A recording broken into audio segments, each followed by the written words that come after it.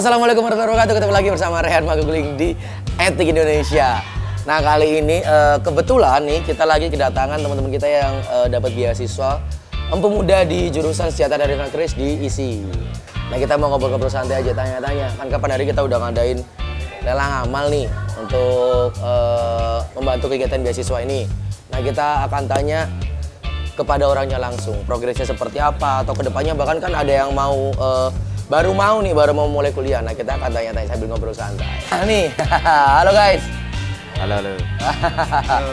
nih kita ada teman-teman eh, yang biasanya dari isi ya yang ini Mas Katon sudah pernah bikin konten sama saya sekarang semester Dua. semester 2 nah yang sebelahnya Eh, saya Ocim, baru mau masuk sekarang. Kang Ocin Ya, Ocim.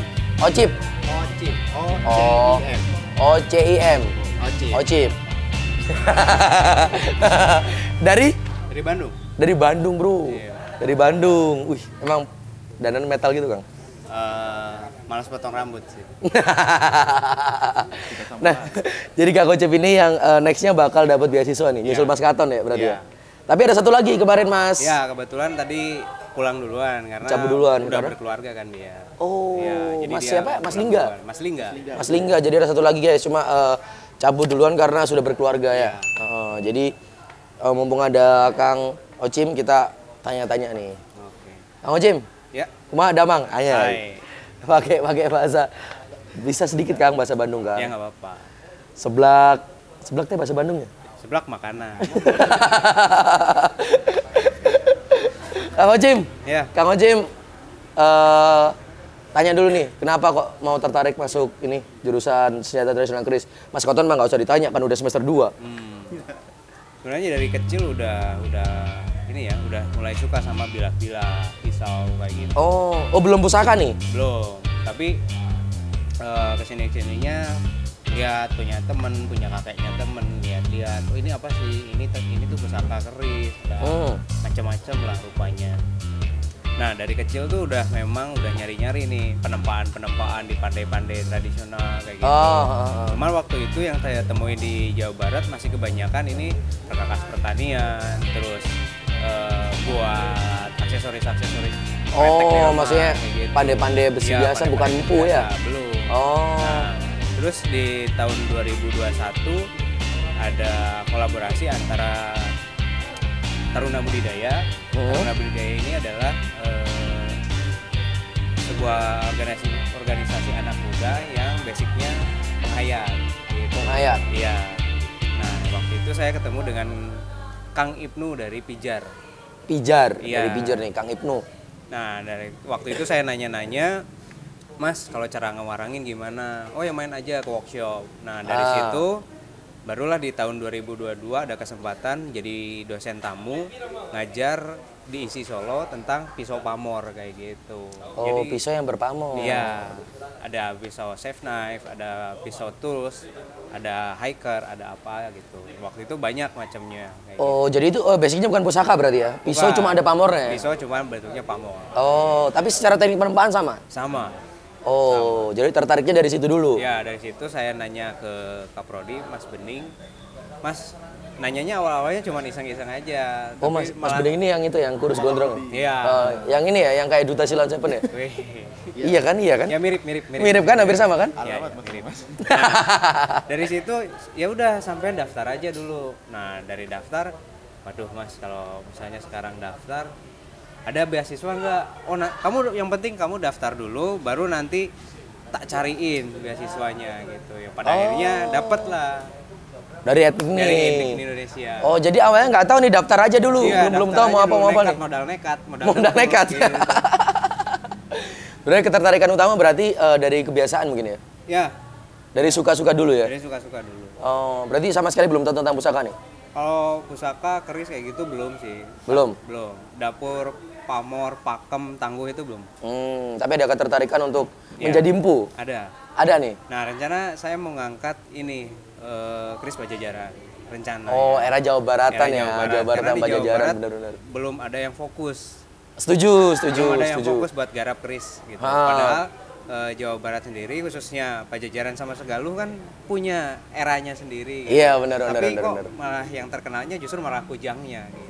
Oh iya iya iya iya iya iya. iya. Padahal kan ada identitas sendiri sendiri ya. Iya maksud Se- se- setahu saya nih, ini dari eh, dari beberapa teman-teman Jawa Barat, kalau nggak salah dari Kerajaan Tarumanegara kan dia pecah jadi dua. Iya. Ada Kerajaan Sunda atau Pasundan sama Segalo tuh. Nah dari Segalo jadi Pajajaran. Iya iya. Nah kolaborasi antara dua itu ya kalau nggak salah ya. Tapi yang terkenal malah Kujangnya. Iya malah kujangnya. Sedangkan saya cari-cari nih di pandai-pandai terus di orang para tokoh sesepuh yang saya tanyakan, Pak paham nggak atau tahu nggak ada keris pajajaran? Banyaknya yang tidak tahu. Mereka hanya mengiranya bahwa pusaka Jawa Barat hanya kujang saja. Oh. Makanya saya mencari literasi di isi ini buat mencari literasi dan menggali bahwa keris pajajaran itu seperti apa, ada dapurannya apa aja kayak gitu, terus pamornya apa gitu. Nah, buat nanti mau saya aplikasikan gitu di sana. Asik, asik, cakep, cakep. Sudah punya prospek, bro. Sudah punya prospek ke depan. Asik tuh ngangkat keris pajajaran. Soalnya aku juga pernah eh, belajar sedikit literasi tentang keris-keris pajajaran, keris-keris Jawa Baratan. Emang kebanyakan tuh di Lu 9, Mas. Ya, ya, ya. Nah, itu kita belum tahu kenapa diciptakan banyak Lu 9. Coba nanti kalau berkunjung ke sini saya tagih jawabannya. Yo, ya, ya. ya. Nanti saya aja. Ini PR saya ya. Ah, ya, PR nih, PR nih berarti ya. Ya, PR. PR nih ya. PR nih. Jadi kita Oke. ada tentang Jawa Baratannya, guys. Asik, asik, asik. Iya, iya. Mulai masuk kuliah kapan berarti? September ya. September. September. Oh, September lihat naik dip saya mas, nggak bisa. Kang Oce berarti masuk September. Iya. Itu semester 1 berarti ya? Semester 1. Nah, ini berarti kalau Mas Katon masuk semester? Tiga. Semester 3. Kita beralih ke tanya-tanya Mas Katon sekarang yang sudah yang sudah Bapak Katon. Ketemu lagi. Ini kakak tingkat, kakak tingkat dan adik tingkat. Ini ini junior rasa senior. Iya, Iya, banget. Ini emang dalamnya junior, fisiknya senior. Mas Katon. Wih, Mana tiga, tiga semester ya. Pirang bulan tiga semester itu? Hah? Satu tahun setengah. Sa- sa- satu tahun setengah ya? Iya. Satu tahun setengah. Sudah dapat apa aja mas? Sudah belajar apa aja? Sudah dapat cewek solo bukan? Jangan, jangan, jangan, jangan tanya cewek. Cowoknya ganteng katanya. Iya, iya. Aku normal loh, Mas. Iya, iya. Iya ngerti. Gua enang ya. Waduh. Udah belajar apa aja mas selama tiga semester di di sini tentang senjata tradisional keris bener ya? Iya, bener. Biar di spill dong ke adik tingkatnya. Eh, kalau masih semester awal biasanya masih belum ke studio penempaan ya. Kalau baru semester 2 baru ke ke perapian, baru studio. Oh jadi studio, eh sorry, eh, untuk semester pertama belajar apa aja? Eh, lebih ke teknologi bahan dulu, pengenalan semuanya. Oh material, Iya. material lebih ke material. Untuk ini buku-buku literasi tentang dapur pamor belum dapet tuh di semester 1 Eh, mungkin diselip-selipin waktu mau bikin apa, ntar gitu. Oh, di semester 2 Ya itu mulai, mulai, mulai bikin. mulai nempa. Iya. Berarti sudah nih. Eh, sudah, Wih, ngeri ngeri ngeri ngeri. Sudah ada project berarti. udah. Rencananya keris pertama eh, selesai kapan? Eh, mungkin target Agustus akhir ini. Agustus akhir. tinggal Berarti kalau sudah jadi main ke sini ya? Ya, Atau saya yang ke sana deh? boleh boleh. Agustus. Wah, aku 17-an, Mas. Kak Iso. 17-an nih gua Agustus Kak Iso. aku. Jadi tentara apa? Itu alasan kan. Jadi nanti masuk Tuh, yang ini dong. Yang nge, apa namanya tuh? Nge apa sih? Ospek. Ospek, ospek, bener, ospek. Disuruh apa? Kalau ospeknya keris apa dong? Ikut dong satu itu satu kampus. Satu kampus semua Iya. barengan? Iya, bareng. Oh. Asik nih kelihatannya. udah punya niat jatah apa ke Kang Oci? Waduh. ya sudah dong, sudah mau ngospek apa ke Kang Oncin? dong. Aku di balik layar kok mainnya. Suruh botak aja. kalau diisi nggak boleh dong. Oh, nggak boleh? Cuman kalau panjang gini diikat dong. Oh diikat. Iya diikat satu. Gini boleh nggak yang gini rambutnya? Nggak bisa kayak. Karena soalnya di warna. Iya kan. Oh enggak ini bukan warna ini asli. Ini Asli. kan dawet aslinya.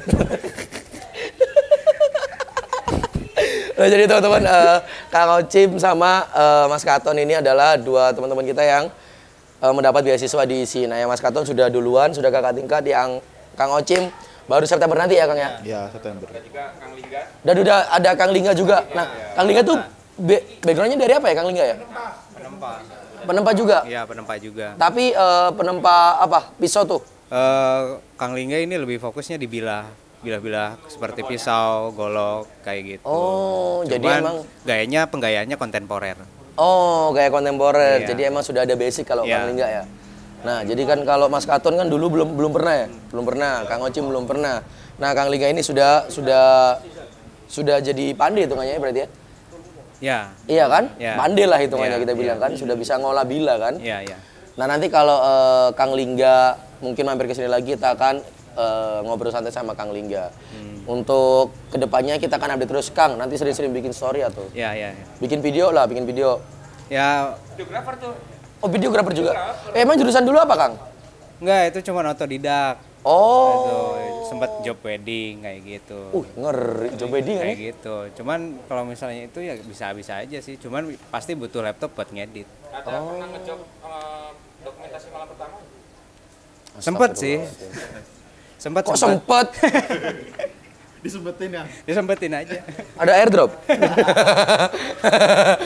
Gak nanti barangkali nanti Kang Ocim di sana mau bikin video-video apa kayak waktu belajar atau Iya. waktu kuliah update Iya. ada aja bisa bisa kita share ke teman-teman biar kita tetap tahu ya. Ya. Bikin konten lah bertiga kasihkan lah di sana.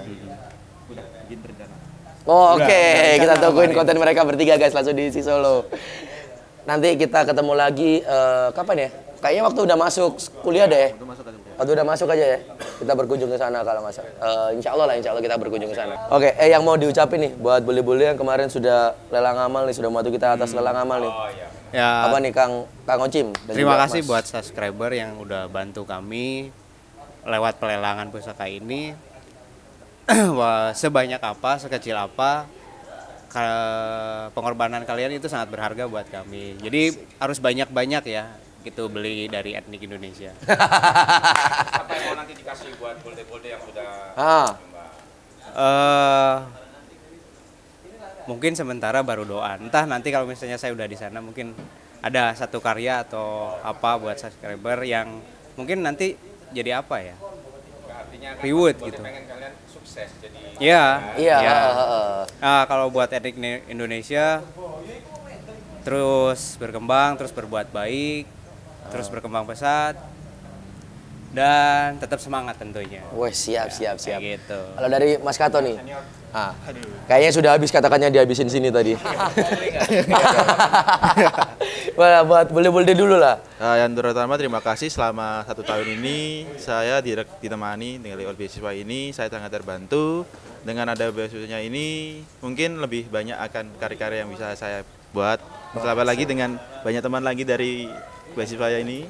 Kang Ojim Kang Sekarang total berapa sih siswa mahasiswa di sana? Di ini di jurusan Kris nih. Di- total sekarang kalau tambah ini belum tahu ya kalau angkatannya beliau Hmm. kalau angkatan saya sama yang mati atas mungkin sekitar ada 20-an lim- 22 atau 23 lah Oh, sekitar 20-an guys. Kita kurang banyak nih kayaknya ya. yang masih bertahan ya Kayaknya kurang banyak ya. Masih ya insya Allah semoga tahun depan ada tambahan lagi lah ya. amin amin amin Ya itu berkat bantuan boleh-boleh juga ya kan. terima kasih Kalau harapan buat teknik Indonesia gimana nih? Eh, harapannya lebih sukses lebih ke depannya apa yang dipikirkan apa yang diinginkan semoga dikasih lancar Amin. Eh, eh, semoga apa yang jadi apinya Goyang terus. oh ya apa yang jadi apinya jangan sampai padam lah Waduh, asik. Kayak Sandi Sandoro ya? aduh Tak pernah padam. Asik. intinya sukses terus lah Amin, amin, amin, amin. Ya kita semua berterima kasih atas partisipasi Bolde Bolde nih ya. Karena dengan adanya eh, Bolde Bolde supportnya mereka, kita juga bisa terbantu untuk melakukan segala bentuk kegiatan itu, entah dari beasiswa, dari kegiatan sosial yang lain, ataupun dari segi eh, perkembangan ini anggota tim etnik jadi semakin banyak. Dulu tuh dulu tuh cuma lima orangnya. Sekarang hampir 30 bro. Sekarang sudah 30-an mas di sini mas. Jadi sini semuanya Jarang yang tahu keris. Enggak semuanya punya keris, keren tuh. Gimana kalau kalian nanti bikinin masing-masing gak satu keris kalau sudah lulus? Bikin aja yang segede-gede. Jangan, itu yang gede gini, yang segini kecil banget. Nanti hilang. Bikin satu pusaka untuk etnik Indonesia deh. Ya gimana ya? Setuju? Deal ya? Deal dulu tuh. Deal. Deal ya? Deal. Oke, deal. Khusus buat etnik Indonesia ya? Oke, kita kita tagih janjinya guys. Seri- Terima kasih buat yang sudah nonton video ini. Kita tunggu nanti video-video selanjutnya dari abang-abangan kita nih yang di Solo. Terima kasih buat yang sudah nonton. Jangan lupa like, komen, dan subscribe kalau perlu di-share juga. Biar tambah semakin menyebar luas untuk budaya kita. Terakhir, Etik Indonesia, salam, budaya. budaya.